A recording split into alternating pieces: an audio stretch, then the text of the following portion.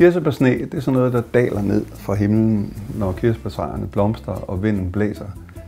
Kirsebærsne er også et musikprojekt, hvor tekst og musik daler ned og lander lige midt i dig. Kom gør den garn i lund Elsker jorden kugle rund Kommer alt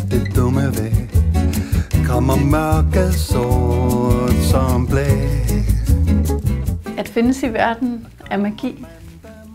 Det føler jeg, at det, det er meget det, som, som vi begge to har drysset ind i, i alle sangene. Altså den her øh, forundring over at være til, og taknemmelighed, kærlighed, fantasi.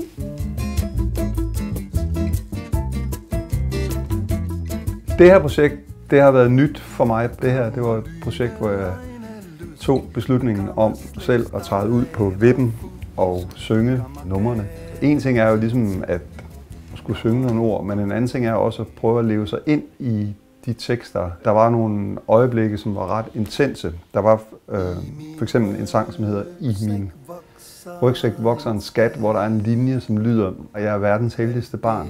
Og det, det var, det kom bag på mig egentlig, hvor, hvor mange gange jeg skulle synge lige præcis den sætning, for at ikke at, at blive for bevæget af den. Jeg er verdens heldigste barn.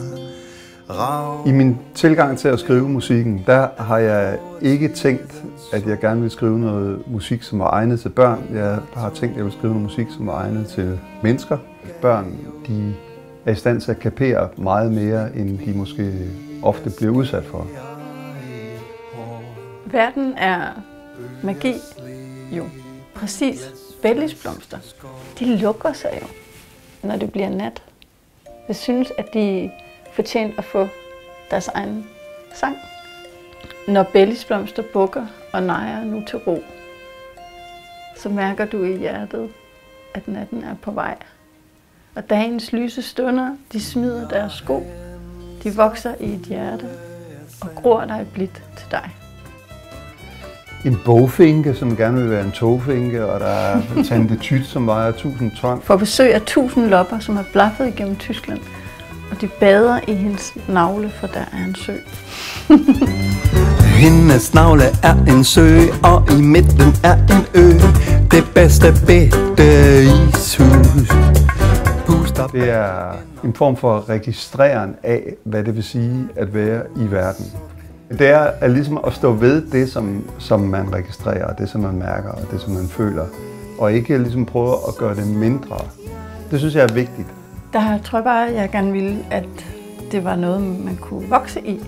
At man ikke nødvendigvis lige forstår det hele med hjernen, men med hjertet og undre sig. Kom lad det sne, kirsebær sne, sne lidt